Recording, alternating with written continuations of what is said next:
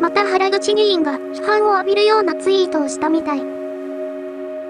ちょっとこのツイートを見てみてよ。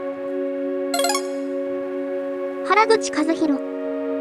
東京を脱出しようという動きがある。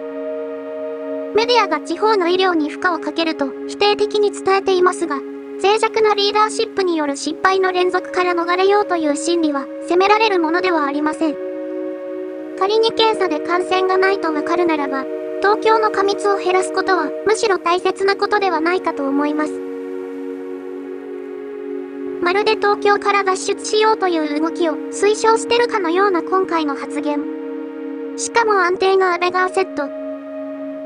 やばくない？絶対大問題発言でしょ。東京の過密を減らすことはむしろ大切なこと？なんでそんな無責任なことが言えるの？人の命が関わってるんだよ。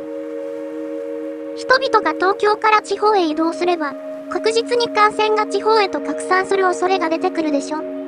なんでそれを推奨してるの？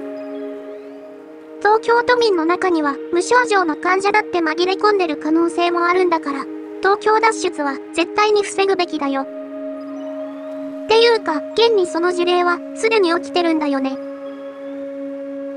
東京都在住の女性が佐賀県宮城町の祖母の家に帰省し、祖母が新型コロナウイルスに感染したでしょ？確か他の県でも同じ事例が起きてるんだよね。あれ？でも佐賀県って原口議員の地元じゃなかったっけ？